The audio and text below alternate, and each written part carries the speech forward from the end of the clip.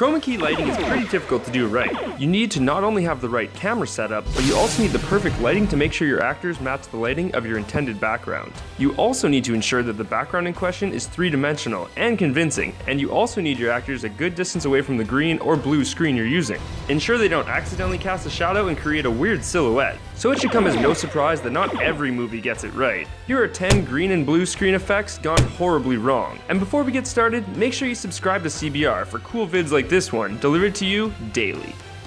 Star Wars prequels. The whole list could have probably been filled with specific moments from Star Wars. We've decided to limit the list to just one entry. When George Lucas made the prequels, he insisted on pushing what technology could do in order to get his vision across. The downside was that filming nearly every scene in the movie on a chroma key screen and including masses of visual effects in every shot that wasn't on one led to a very rubbery, artificial world at best, and made the characters look like they were standing in front of a 2D picture at worst. From the arena battle of Attack of the Clones to the four hour long battle on the lava planet of Mustafar, precisely nothing looks like it's actually there, not even the actors. Thankfully, the more recent Star Wars films haven't abused chroma key quite as much.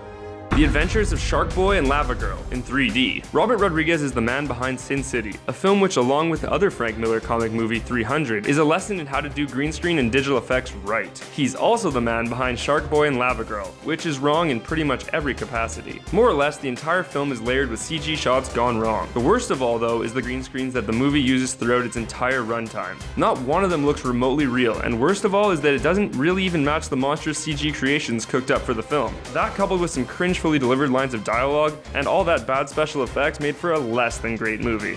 Spy Kids 3D, game over. No, we're not done picking on Robert Rodriguez. Before making Shark Boy and Lava Girl, he tried his hand at 3D with the third Spy Kids movie to a very similar effect. While any of the Spy Kids movies could have been used in place of this, we don't think there's much worse than a 3D movie with some of the flattest keyed in backgrounds we've ever seen. While later, better movies like Avatar would use 3D and depth to the world and would use green screens to tremendous effect, early movies like Spy Kids not only don't hold up, but were poor at the time too. It's important to note that Robert Rodriguez was using blue screens to great effect in other movies, but for some reason the Spy Kids movies fell very, very short.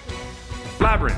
Rather than using giant marionettes in this movie a la Toho movies, Labyrinth decided the best way to make the puppets dance was to have them operated by men fully covered in black on a black background. While the puppets dancing themselves don't look bad, after all this technique is used in theater all the time, what looks simply horrendous is the appalling backdrop they're dancing on. It neither looks like the puppets are standing on it, nor does it look like the actress is standing on it. For a movie with great visual and fantastic practical effects, this is one attempt at chroma keying that was just unbelievably awful.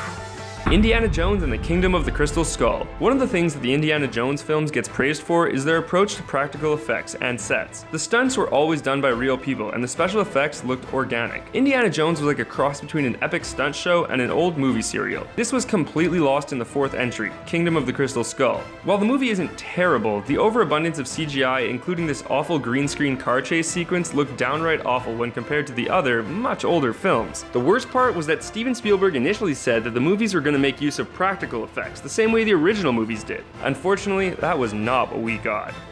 Jupiter Ascending. Perhaps the only thing scarier than the Wachowskis' ability to direct Academy Award winning actor Eddie Redmayne to the worst performance of his career are the ever present, but never quite convincing, green screen backgrounds in Jupiter Ascending. Jupiter Ascending uses the Phantom Menace approach to chroma key, which is that as much as possible should be CG'd in post. While the Wachowskis have been known for their use of CGI techniques such as bullet time that inspired a wave of action movies, Jupiter Ascending unfortunately is less groundbreaking and more regressive. For a movie that features the gold-bearded Channing Tatum soaring through the air, it would really help if the audience believed that the sky was actually there.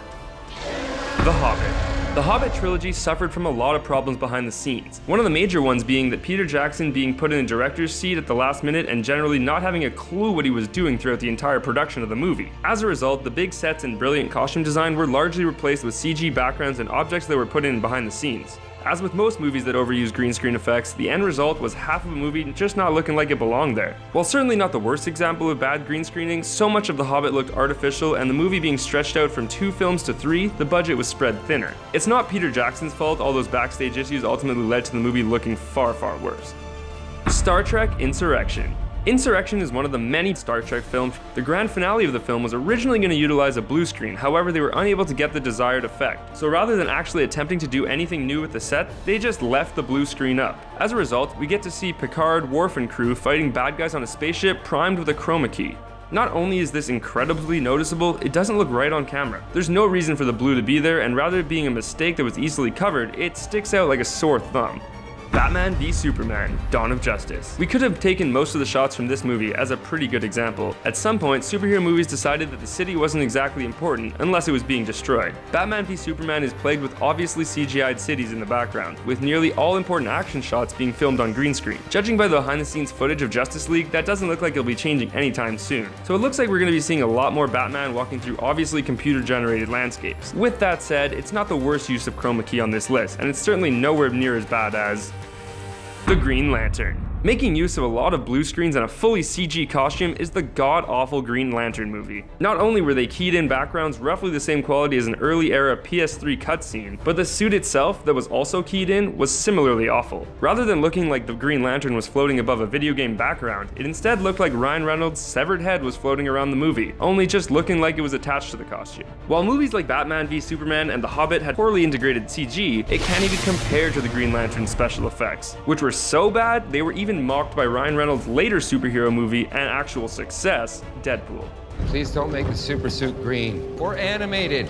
So there you have it. Are there any others you wish we'd mentioned? Leave us a comment and let us know. If you like this video, give us a thumbs up and check out the rest of our channel. Don't forget to like, share, and subscribe to CBR for cool vids about movies, action heroes, gaming, comics, pop culture, and more.